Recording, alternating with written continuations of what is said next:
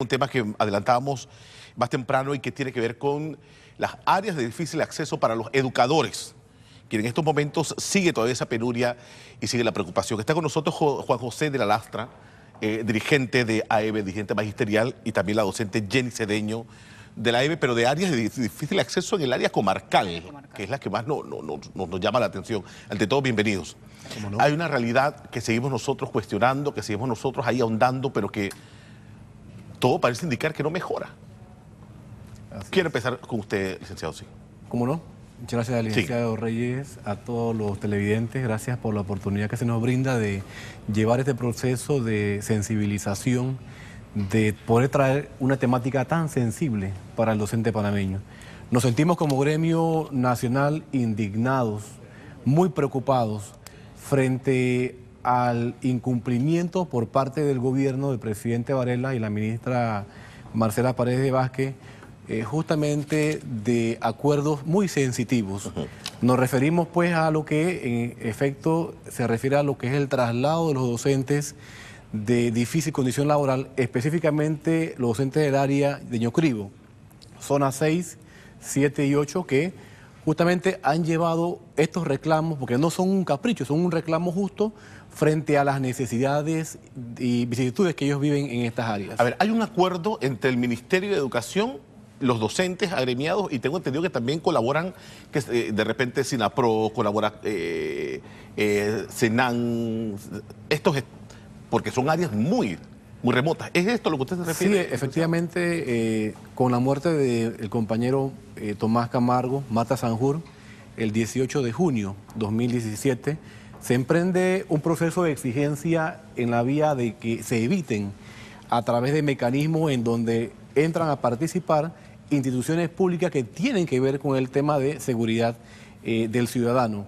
Está SINAPROM, está SENAN, Cruz Roja, en fin lo importante aquí interesante es que se impulsa una colaboración interinstitucional en donde eh, eh, con este precedente se va entonces en la vía de tratar de mitigar, ¿sí? en la medida de lo posible, lo que son los accidentes que hoy día han llenado de luto y dolor a muchas familias panameñas de este país. Pero ahora, ellos van y los dejan allá, o los apoyan a ese traslado, y luego para salir... Nos apoyan en cierta manera, ¿verdad? Eh, nosotros salimos de vacaciones ellos nos trasladaron, docentes de la zona 6, 7 y 8. Nosotros llegamos a un acuerdo el 11 de junio, donde se firmó la fecha calendario de salidas y entradas. El Meduca, como patrono, incumple una vez más eh, en los acuerdos pactados ese día. Nosotros esperábamos la movilización el día 21 de julio. No se dio la, dicha movilización, eh, donde ocurre el caso de nuestra compañera Maura Serrano, donde pierde su bebé por la tardía movilización que se da. Ella estaba dando, ella estaba impartiendo clases en áreas. Ella está, ella es mi compañera. Ajá, en estado de. ajá. Ella es mi compañera. Eh, yo, yo laboro en la escuela Mayo. Eh, para llegar a nuestros centros educativos. Escuela Mayo. ¿En qué lugar exactamente? Eh, corregimiento de Mununi número 3, eh, distrito de Canquintú. De Canquintú, área comarca 9. Ajá, área comarca 9. nosotros para llegar a nuestro área de trabajo caminamos tres días. ¿Tres días de donde lo deja el transporte? Donde lo deja el transporte hasta, hasta la escuela Mayo. hay varias escuelas, son 12 escuelas en esa región eh, está la escuela de Trinchera, la escuela de Mununi. ¿Y le pregunta las condiciones de esa escuela? Deplorables. Deplorables. Nefastas. Estamos indignados, burlados, eh, nos sentimos abandonados. ¿Y el pago? ¿Llega el pago, los, nombramientos, los, cheques de ustedes? Con los compañeros nuevos que, eh, que, entraron ahora a laborar, no, no se hizo el pago efectivo. O sea, ellos entran con sus propios medios, recursos. para entonces después salir y a ver si, si, salió. si salió su cheque. No, aparte que usted, tiene un viático por área de difícil acceso, tengo entendido. Sí, sí, tenemos un viático de 100 balboas, cosas que nos recortan porque no, no queda los 100 balboas. A ver, aquí hay una realidad con ustedes, licenciado, y también la, licenciada eh, Cedeño. Ustedes cuando llegan a esos lugares prácticamente los tiran allá. Sí, nos abandonan. Y ahí no sale cheque, no sale viático, usted tiene que pagar sus cuentas, viven del crédito de las tienditas y cuando se agotan los productos en las tienditas, ¿cómo hacen? Los moradores nos regalan eh, verduras o... ¿Te de la caridad entonces de los moradores? Sí, exactamente. Y aún así imparten clases. Y así impartimos clases. Eh, no se nos respeta nuestro derecho a la vida humana.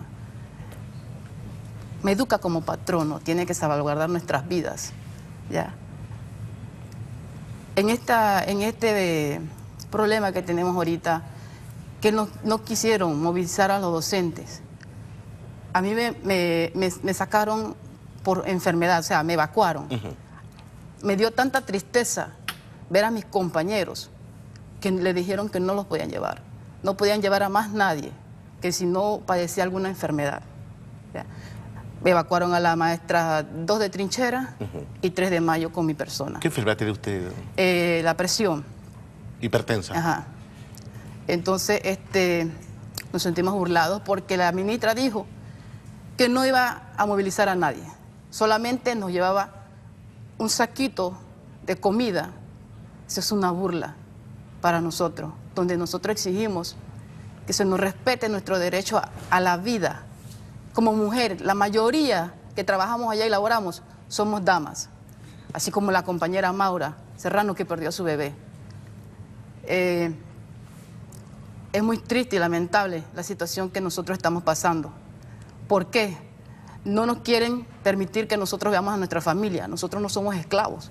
Ustedes dejan a sus familias. Dejamos a nuestra familia, para irse allá. a nuestros hijos, para impartir clases a los niños de la comarca. Es indignante la manera en que me educa. Me, dice a mí, me llamó el ministro Bazán y me dice, no lo vamos a movilizar le vamos a mandar sacos de comida y agua y medicamentos. Y se quedan allá. Y se quedan allá. Y faltando al acuerdo que habían pactado. He pactado. Sí, hay un acuerdo firmado, hay un cronograma estipulado y justamente la denuncia que hace la asociación es que el viceministro, como el vocero en esta ocasión principal del Ministerio de Educación, eh, evidentemente eh, viola un acuerdo y eh, de manera cínica e indiferente, ya que este pacto, después de 71 días de huelga el año pasado, debe ser respetado por el Estado. Sin embargo, lo que observamos es que son cínicos, simulan que están haciendo el trabajo porque fuimos testigos de que sacaron publicaciones en Meduca y en Senan de que estaban trasladando a los docentes y es totalmente falso. Hoy día todavía hay docentes que están caminando para salir de allá, de esta área. Y responsabilizamos en su momento al presidente y a la ministra si les pasaba algo a los compañeros. Porque eh, profesor Juan José, todo el tiempo es lo mismo. Bueno, lamentablemente, a falta de una política pública, ¿sí? se dan esta cadena de improvisaciones que al final, por una parte, se le niega el derecho a un trabajador, en este caso a los compañeros de esta área, y por otra parte, no le da la posibilidad real al Estado de atender las necesidades contundentemente. Y bueno, se expone la vida de los compañeros, se expone la vida de los hijos de los compañeros y se expone la vida hasta de los mismos estudiantes en estas áreas. Esto es una realidad que todos los años estamos viendo en el caso de materia de educación eh, pública. Profesores que para buscar su trabajo, terminan de, licenciarse, van a buscar trabajo en el Almeduca, tienen que ir primero a estas áreas de difícil acceso para poder dentro de un tiempo entonces lograr un traslado a otro lado un poquito más. Y muy difícil. Y muy difícil. Y muy difícil. Dejan a sus familias, se van a estos lugares remotos, se exponen, entre ellos enfermedades. Los cheques no salen. El apoyo por parte del médico... Es una, es una serie de elementos que se van agudizando cada vez más. Y justamente estos elementos inciden directamente en, por una parte, trastoca hasta el mismo proceso de ciencia de aprendizaje. Un trabajador que no se siente respaldado, que no se siente motivado y que al final queda expuesto a la vida como cualquier otro eh, eh, ser humano, ¿sí? en un área tan delicada como esta, con tantos problemas, es lamentable que pues, después de diferentes acciones que se han hecho, acercamientos a través del diálogo, el gobierno del presidente Varela, yo reitero esto porque en esta ocasión hay que decirlo, eh, es indignante la forma como están tratando a los docentes es una forma irresponsable. La ministra, si se va o no se va, tiene que cumplir sus deberes como servidora pública. Y justamente por eso ella fue creada en el mes de junio por AEB penalmente, justamente porque estaba incumpliendo en sus funciones. es lamentable esta situación, licenciado. No, no solo, no solo desmejora, desmotiva. desmejora la calidad también del docente. Claro. Y también desincentiva a que otra persona se forme para dar clases, sabiendo estas condiciones. Usted es de Chiriquí, ¿verdad? Yo soy, sí, de Puerto Armuelles. De Puerto Armuelles, pero entonces se tira hasta Canquintún. Hasta Canquintún. A dar clases. A dar clases. Y esto es todos los años que estamos viendo este problema. Así Vamos a estar pendientes entonces, eh, ¿le parece? La licenciada eh, Cedeño, también de la EVE, y el actual dirigente Juan José de la Lastra con nosotros. muchas gracias. Eh, vamos a estar pendientes de verdad. de verdad, porque este es un caso no solo recurrente, sino también que preocupa, porque parece que no hay luz al final del túnel. Y se expone la vida del compañero. Sí, exactamente. Vamos a hacer una pausa y enseguida otros detalles aquí en Noticias AM.